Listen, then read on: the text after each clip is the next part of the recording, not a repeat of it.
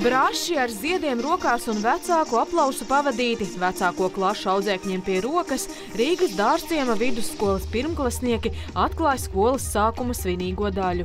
Rīgas dārciema vidusskola ir jauns skolas nosaukums divas mācību iestādes apvienojot vienā. Mēs paplašinamies, jo finansējums ar nākamo gadu sekos izglītības programmai, ir svarīgi nodrošināt kvalitatīvu izglītību. Izaicinājums ir tas, ka mums ir jauna ēka Vietelvas ielā 15, ir uh, viena ēka, un Sasku ielā 72 ir otrā ēka. Tā kā uh, izglītības process tiks, i- tiks organizēts starp šīm divām ēkām.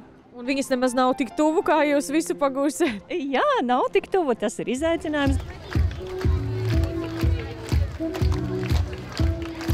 Šeit arī ir pirmklasnieki un skolēni no 1. līdz 9. klasei un savs pedagoģu kolektīvs. Un direktorei otrs svinīgais pasākums šorīt. Skolā izlīmētie plakāti atgādina runāsim latviski. Šī iepriekš bija mazākumtautību skola, kur otro gadu turpinās pārēju uz mācībām tikai valsts valodā, kas jaunizveidotās skolas vadībai būs tagad jāpārņem.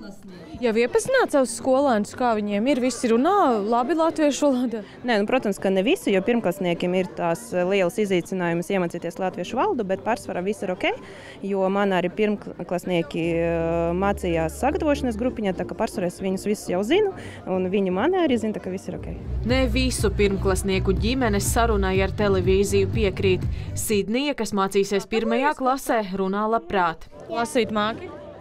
Nu, es vēl mācos, es tā nu, drusku tā māku, bet es vēl mācos lasīt. Mācīs lasīt un rēķināt. Re, rēķināt, jā, māku. Kas tev labāk patīk? Matemātika. Ļoti labas, mēs esam priecīgi. Jā.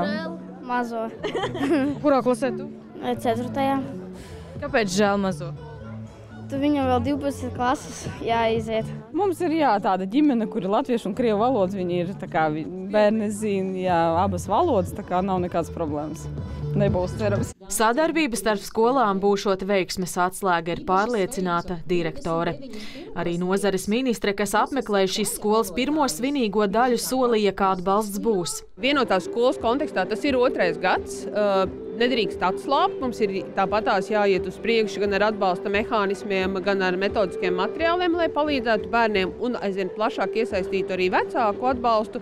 Bet kopumā ir zināms, kas ir jādara un vienkārši jāturpina. Vienlaikus vaicāta par jaunā mācību gada lielākajiem izaicinājumiem, Čakša teica, ka ne izglītības saturs un citas reformas, bet gan neskaidrība tieši par pedagoģu algām būs jautājums, kas jārisina. Jo arī no algām ir atkarīga darba kvalitāte. Vita Anstrate, Māris Jurgensons, Latvijas televīzija.